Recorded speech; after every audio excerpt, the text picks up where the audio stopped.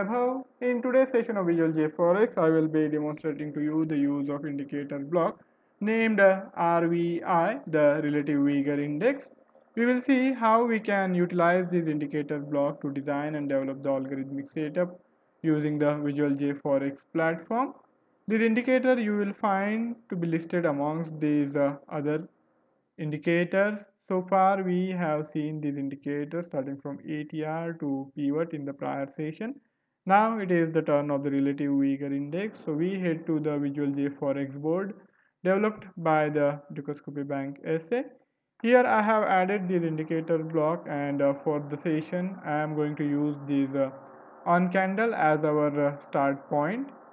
I have also included this uh, formula for calculation how these indicators uh, values are arrived at and uh, if we see I will uh, give you the brief idea of how this calculation works. We are not really going to go into the details of these uh, calculations. In uh, this uh, calculation you can see that this is the difference between the opening and the closing levels of the last few candles. We take the closing value and uh, then we deduct the opening value for the current candle and then we do the same for the uh, prior candles also we take into account the difference between the closing value and the prior candles opening values and we have to do it in succession for last uh, four candles. And uh, similarly in the denominator also we have to take into account the difference between the high low of the current candle as well as last uh, four candles. So we then do the summation. We divide that sum by 6 and then we arrive at the resultant value. So we have this particular combination of uh, calculations which needs to be carried out and then we derive this uh, RVI by dividing the numerator values by the denominator values. And the signal line formula is a bit different.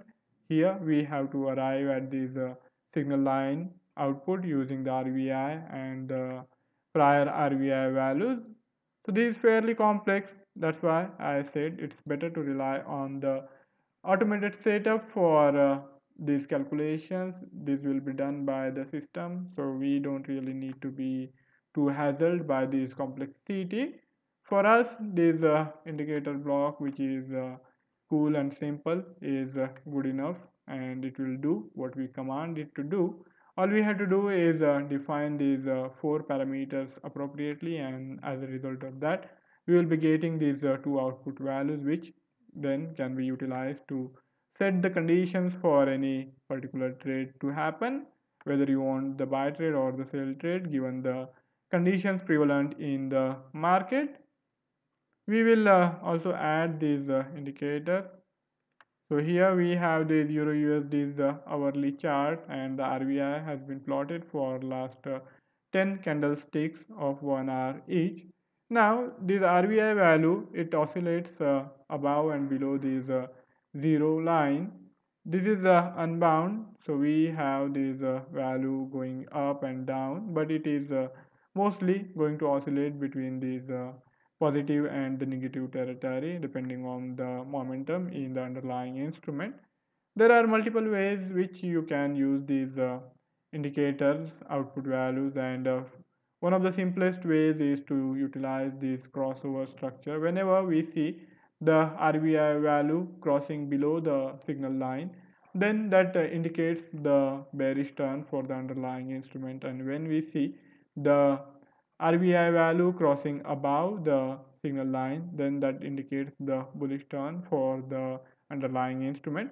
But as is the case with most of the indicator this is not a foolproof method and as you can see sometimes the signals get generated and it uh, turns out false. So that happens that keeps happening with all the indicators and that's why it is uh, very important to customize and uh, see what is the best possible combination for the uh, given indicator and here in case of the RVI we will have to try to figure out on uh, what time frame we want to trade and uh, then define these RVI values accordingly.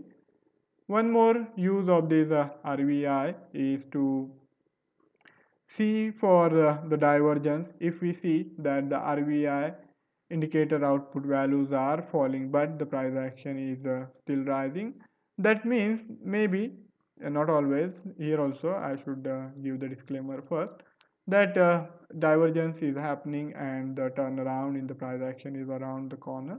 And uh, similarly or you can say inversely if we see that the RVI values are rising but the underlying uh, instrument's price action is on the bearish side you can expect the turnaround to happen in a pretty short amount of time. So that's how this uh, diversion divergence can also be utilized to design and uh, develop the algorithmic structure.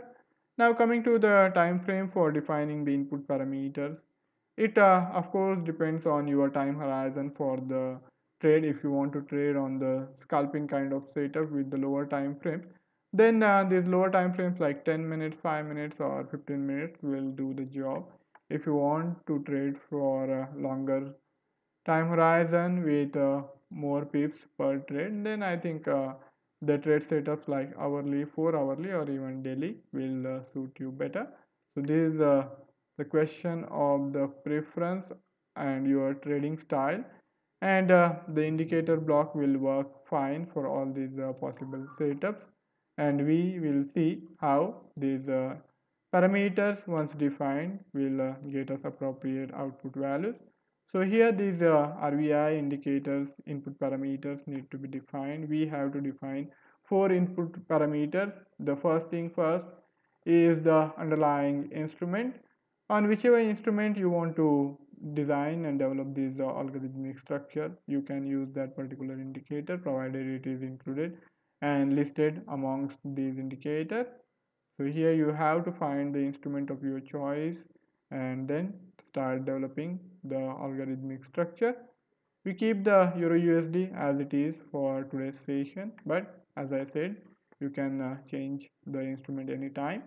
Coming to the period of this uh, candlestick, if you want the hourly time frame, as I said, it is uh, very important on what time frame you want the calculation to be done.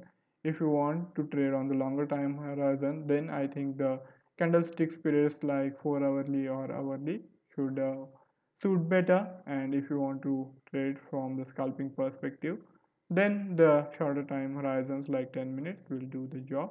So to demonstrate to you I will change it to say half an hourly. There is nothing particular about half an hourly. And you have to see what kind of structure is uh, going to improve the probability of uh, profit in uh, your setup Shift is the look back period whether you want to take into consideration the current value or you want to go back in time and retrieve the prior data. You can do so using this uh, shift parameter.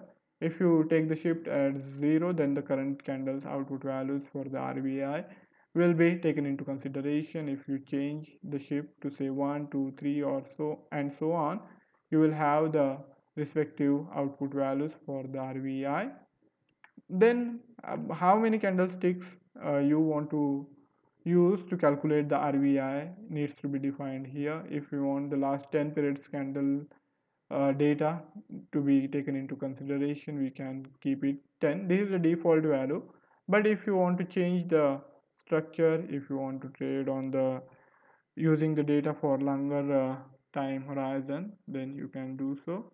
All you have to do is uh, change this uh, parameter and uh, you can see the plotting for the RVI has changed drastically as I have changed the number of period which is uh, which are applicable for this uh, particular output combination.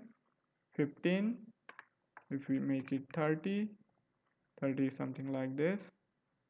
As we increase the number of periods for this we will see more and more smoothing in the plotting of this uh, chart.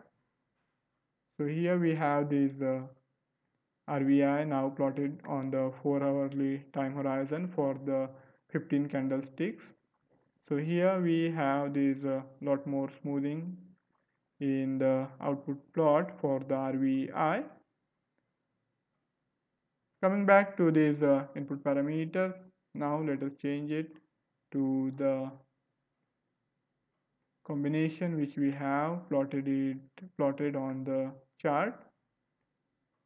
So here and this will change to 50 and the resultant output values are uh, here for us to be used. The RVI and the signal line as I said we can use the simple crossover kind of structure where we look for buying opportunity whenever we see the RVI value crossing above the signal line and we look for selling opportunity whenever we see the RVI value crossing below the signal line. And uh, also there are many other possibilities also which you will have to figure out. You will have to work on the permutation combinations and see what is the combination which is likely to bring you the best possible results? Then coming to the settings the offer side makes a slight difference. If you are calculating on the bid side or the ask side there will be slight spread and because of that the output value will uh, differ to some extent. Applied price whether you want the candlesticks data to be used uh, on the closing basis or on the high low or uh, all these options are here. So whichever way you want to work you can uh, use this applied price. But since this uh, indicator block has a fixed formula and uh, because of that we don't really see much difference being made regardless of what kind of applied price is being used. So that is uh, not going to make much of a difference so that's it from my side for uh, today's session and uh, if any of you have any query or any idea to share you can write it in the comment section and I would be more than happy to take the discussion forward. Thank you all for joining in. Have a fabulous day ahead. Goodbye.